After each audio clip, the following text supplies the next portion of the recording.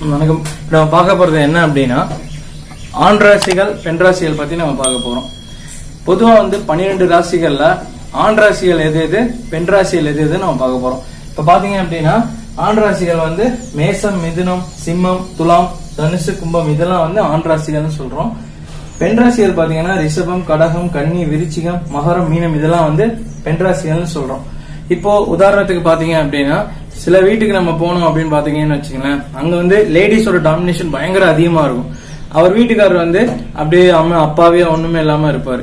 சில வீட்டுக்கு போனோம் அப்படின்னா ஜென்ஸோட டாமினேஷன் ரொம்ப அதிகமா இருக்கும். லேடிஸ் பாத்தீங்கன்னா ரொம்ப அப்படியே அமைதியா போவாங்க. இதெல்லாம் வந்து என்ன காரணம் அப்படின்னா இந்த ஆண் ராசிகள் பெண் ராசிகள் தான் காரணம். அவங்க வந்து பெண்ணா இருந்தாலுமே இந்த ஆண் ராசியில வரக்கூடிய ராசியில பிறந்திருந்தாங்கன்னா ஆணுக்கு உண்டான எல்லா தன்மையோடவுமே அவங்க இருப்பாங்க. உதாரணத்துக்கு ஒரு பெண் சிம்ம ராசியில இல்ல மேச ராசி இந்த ராசி ஆறுல எதுல பிறந்திருந்தாலும் கண்டிப்பா ஆணுக்குரிய எல்லா தன்மையோட இருப்பாங்க. அவங்க கணவன் ஒரு வேலை இதுல வரக்கூடிய எந்த ராசியில இருந்தாலுமே அவர் அவ்வளவுதான். அவர் பெண் ராசி தன்மையோட தான் இருப்பாரு. உதாரணத்துக்கு இப்ப பாருங்க ஒரு சிம்ம ராசியில வந்து ஒரு சிம்ம ராசியில வந்து ஒரு பெண்ணும் அதே மாதிரி கணவன் வந்து ஒரு மீன ராசியில இருந்தாரு அப்படின்னா அந்த வீட்டுல நீங்களே முடிவு பண்ணிக்கலாம். யார் டாமினேஷன் அதிகமா இருக்கும் அப்படின்னா அந்த பெண்ணினுடைய டாமினேஷன் தான் அதிகமா இருக்கும். இது இல்லாம இப்போ நம்ம உதாரணத்துக்கு ஒரு சிம்ம ராசியே இருக்கு அது ஒரு பெண் இருக்கு அப்படின்னா அந்த பெண்ணோட கூடுதலா இருக்கக்கூடிய பவரா இருக்கக்கூடிய ராசியை வந்து கல்யாணம் நம்ம அலையன்ஸ் பார்க்கும்போது எப்படி பார்க்கலாம் அப்படின்னா உதாரணத்துக்கு இப்போ நம்ம வந்து ஒரு ஜாதகத்துல சிம்ம ராசி எடுத்துக்கிறோம். மீன ராசி ரெண்டுமே பொருத்தம் ஓகே ஆகுதுன்னு வச்சுங்க.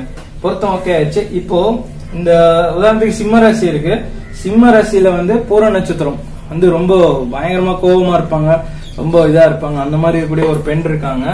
இவங்க ஆணுக்குரிய எல்லா தன்மையோடவும் இருப்பாங்க. இவங்களை கண்ட்ரோல் பண்ணணும் அப்படின்னா இந்த பெண் ராசியில இருக்கக்கூடிய இந்த ஆறு ராசியில அவங்க நட்சத்திரம் ஏதாவது ஒண்ணு. உதாரணத்துக்கு இப்போ சிம்ம அவங்க கறந்துருந்தாங்க அப்படின்னா இந்த சிம்ம ராசியில இருக்கக்கூடிய பெண்ணை வந்து கண்ட்ரோல் பண்ணலாம்.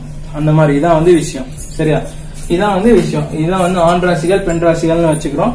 இதுல நீங்க உங்க ராசி வந்து என்ன ராசி அப்படின்னு பாத்துக்கோங்க அந்த ராசி வந்து ஆணா பிறந்தாலும் சரி பெண்ணா பிறந்தாலும் சரி இப்போ உதாரணத்துக்கு பெண்கள் வந்து பெண் ராசியில் இருக்கக்கூடிய ஆணாவும் இருக்கலாம் ஆண் ராசியில் இருக்கக்கூடிய பெண்ணாவும் இருக்கலாம். அதனால ஐயோ பாவம் இவர் ரொம்ப பாவம் அப்படின்னு சொல்லி நிறைய பேரை நம்ம நினைப்போம். இவங்க ரொம்ப பாவம் இந்த அப்படின்னு நிறைய பேர்த்த நினைப்போம். அதெல்லாம் காரணம் என்னன்னா இதுதான். இன்டர்சேஞ்சிங் தான். யாருமே வந்து பாவம் கிடையாது.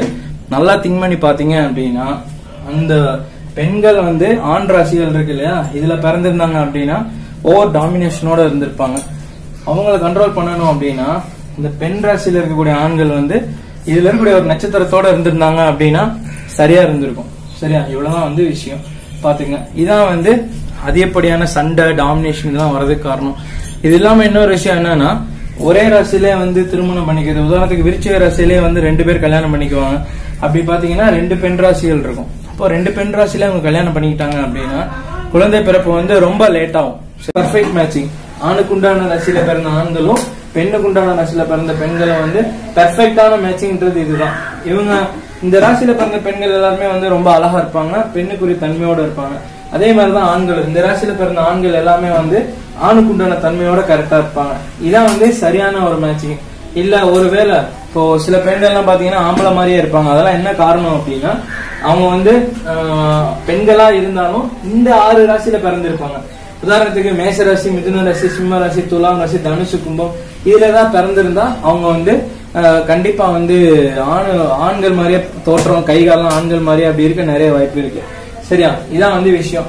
அதே மாதிரி பெண்ணுக்கு உண்டான ராசியில பிறந்த ஆண்கள் வந்து கொஞ்சம் அழகாவே இருக்க நிறைய வாய்ப்பு இருக்கு. இதான் விஷயம். இது இல்லாம பாத்தீங்க அப்படின்னா ஜாதகம் பார்க்கும்போதும் இந்த பொருத்தங்கள் வந்து பெர்ஃபெக்டான பெண்கள் தான் வந்து இந்த ராசியில பிறந்தவங்க. சரியான ஆண்கள் இந்த ராசியில பிறந்தவங்க.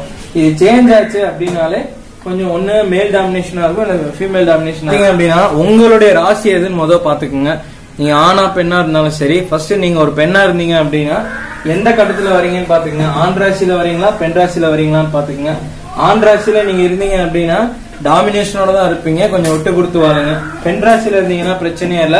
உங்க ஜாதகப்படி திருமணம் பண்ணீங்கன்னா அதுல வரக்கூடிய அந்த ஆண்கள் வந்து கண்டிப்பா உங்களுக்கு உங்களோட ஏதோ நட்சத்திரமோ இல்ல லக்கணமோ ஆண்ராசி இருந்தால் இருந்தா பெண்ணுக்குரிய லக்கணத்துல பெண் ராசி இருந்தா ஆணுக்குரிய லக்கணத்துல இருப்பாங்க. நன்றி. பதிவு பிடிச்சிருந்தா ஷேர் பண்ணுங்க சப்ஸ்கிரைப் பண்ணுங்க. நிடியல் பாக்ஸ் ஆபீஸ் சப்ஸ்கிரைப் பண்ணுங்க. நன்றி.